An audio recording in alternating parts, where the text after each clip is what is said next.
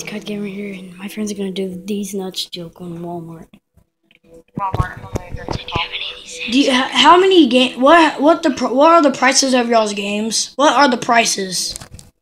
What are you talking about? Like what are the prices of 'em? like? Is do you have a game for Devil May Cry? Uh, I have to connect you to electronics. It's not electronics. Okay. PS4. Okay. Say, say. But you, guess what? You know, I came in the mail today when he answered. No, no, I'm gonna say I'm gonna, I'm gonna talk to one of y'all. But like, hey, have y'all heard of that? Uh, hold on, hold on, sir.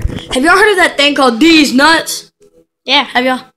Have y'all heard of it? All right. Um, I was gonna ask you guys. Um, do y'all have Batman Arkham Knight yet? Uh, no, we do not. It's not out yet.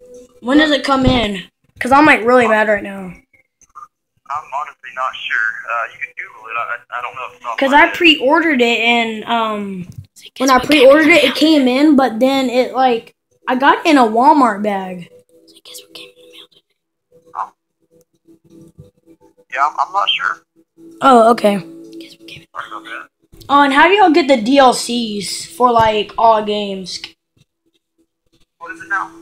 How do y'all get the DLCs for like games? Can you get them for free? Uh, no, you have to buy them on the, on the Xbox or the PlayStation store. Okay. Um, What came in I was gonna ask you guys. I like your guys' store. I was gonna ask you guys, can I get free PlayStation cards?